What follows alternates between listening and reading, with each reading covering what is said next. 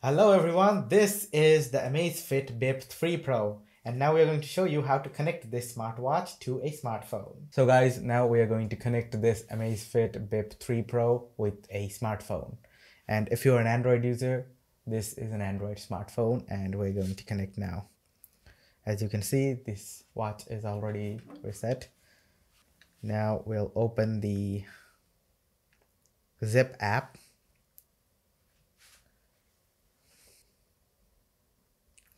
on the top right corner of the app here's a plus button. We have to click on plus.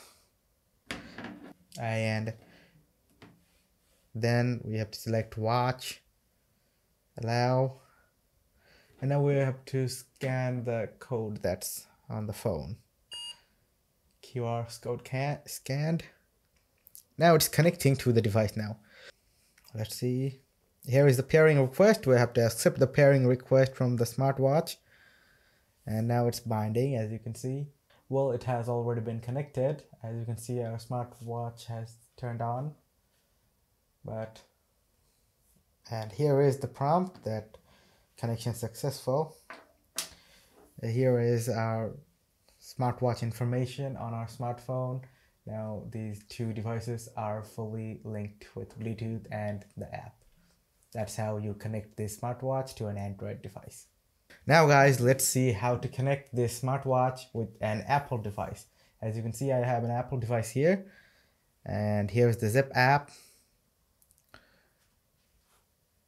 On the top left corner, here's the plus button. We're going to select watch and have to scan the code on the smartwatch.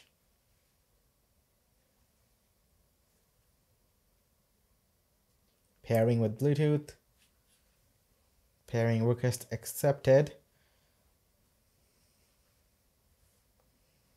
As you can see, our smartwatch has turned on and here is our Apple device. Fast forward a place gula. Huh? We'll select don't restore because it's a new device now. And it's synchronizing GPS because the smartwatch has GPS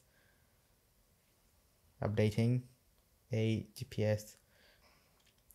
GPS synchronizing successful as you can see now they are fully synchronized and connected and it's just that easy to connect this smartwatch to an Apple device.